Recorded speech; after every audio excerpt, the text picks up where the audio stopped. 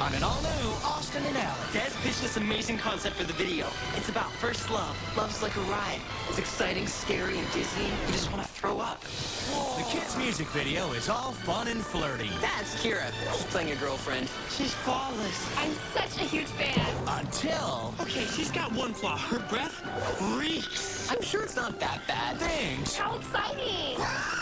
turn